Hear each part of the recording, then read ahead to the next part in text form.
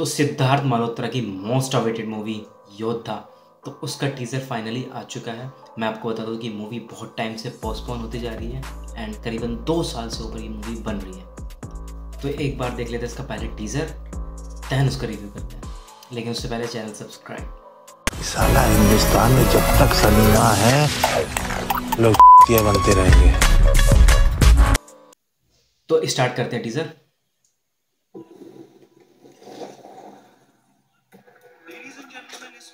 आठ हज़ार का है अगर किसी को उसमें से नहीं जुटा तो उसी की पेटी बाँध ले और अपनी जगह पर बैठे क्योंकि आगे तूफ़ान आने की संभावना है। पायलट ने seven five zero zero squawk किया it is an official hijack और फिर कमांडो कौन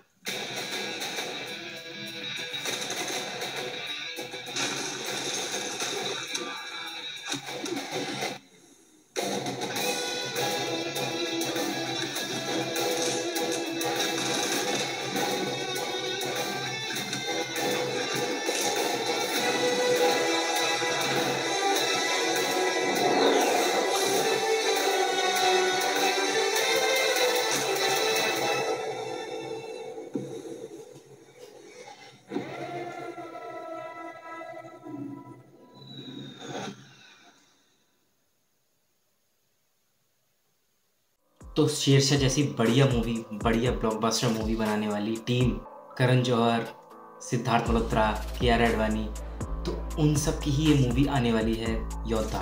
तो जैसे कि मैंने आपको बताया कि मूवी करीबन दो साल से बन रही है एंड ये पिछले साल रिलीज़ होने वाली थी, वो भी मिड में, लेकिन अब देखो, अब ये रिलीज़ होगी 15 मार्च 2024 में। तो मूवी में डिले बहुत टाइम से हो रहे हैं एंड मूवी से उम्मीद काफ़ी है लोगों की, क्योंकि जब इतने टाइम से कोई मूवी बन रही होती है एंड उसकी पॉपुलरिटी चलती रहती है तो लोगों की एक एक्सपेक्टेशन सेट हो जाती है। तो मूवी की जो स्टोरी है, वो पता चल रहा है कि हाईजैक के ऊपर है प्लेन हाईजैक के ऊपर है। अगर आप प्लेन हाईजैक की देखें तो जो सबसे बेस्ट मूवी याद आती है, वो है नीरजा जिसमें सोनम कपूर ने एक्ट किया था।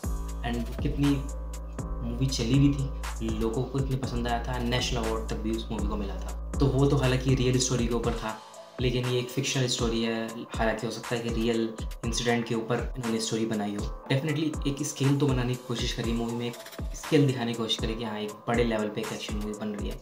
लेकिन मुझे कुछ शॉर्ट्स ऐसे लगे कि यार, या तो वो अंडर कुकड है, अभी सही से वो उनका काम हुआ नहीं था या फिर जैसे आप देखोगे कुछ जगह पर वी एफ़ एक्स लैक करता है। एंड एक्शन भी एक दो जगह ओवर लगता है। हालाँकि सिद्धार्थ मल्होत्रा आप देखेंगे प्रॉमिसिंग लगते हैं एक्शन करते हुए। एंड उनकी पर्सनैलिटी है कि वो एक सोल्जर का करेक्टर प्ले करें। बट सच बोलूँ तो एज़ पर माई एक्सपेक्टेशन मुझे उतना खास नहीं लगा टीज़र मे बी ट्रेलर में कुछ ऐसा अच्छा हमें देखने को मिले, क्योंकि टीज़र में बस एक सब्जेक्ट जो लगता है वो हाईजैक का ही लगता है। तो हाईजैक पे कमर्शियल मूवी बनानी आई थिंक माल मसाला वाली मूवी बनानी काफ़ी डिफ़िकल्ट तो होगी उनके लिए। बट लेट सी होप हम हाई रखते हैं अपनी कि ट्रेलर में हमें और अच्छा देखने को मिलेगा। मूवी और अच्छी बनी। बात करें कास्टिंग की तो कास्टिंग में सिद्धार्थ मल्होत्रा एक्टिंग तो डेफिनेटली इनकी इम्प्रूव इम्प्रूवमेंट चल रही है। एंड किया एडवानी आप जानते हैं ब्यूटीफुल तो हैं एंड एक्ट भी अच्छी करती हैं and Rashi Khanna Rashi Khanna one of my favourite तो उनको हमने अभी रिसेंटली फर्जी में देखा था। फर्जी सीरीज़ शायद कपूर वाली। उनकी एक्टिंग तो ज़बरदस्त होती होती बात करें डायरेक्टर की तो डायरेक्टर भी दोनों नए हैं, सागर एंड पुष्कर। तो कैसी डायरेक्टर उन्होंने करी होगी मूवी हालाँकि टीजर से प्रॉमिसिंग लगती है एंड करण जौहर इसको सुपरवाइज कर रहे हैं तो डेफिनेटली कुछ तो ध्यान दिया होगा मूवी में। But let's see wait for the trailer and movie release होगी। पंद्रह मार्च को ज़्यादा टाइम नहीं है फैब चल रहा है, एक महीने से भी कम इसमें टाइम बचा है। तो आई थिंक प्रमोशन एंड गाने स्टार्ट हो जाएँगे इस टीज़र के आने के बाद। सो ओवरऑल टीज़र मेरी एक्सपेक्टेशन को मीट नहीं करता। होपफुली ट्रेलर के अंदर हमें और अच्छी चीज़ें देखने को मिले।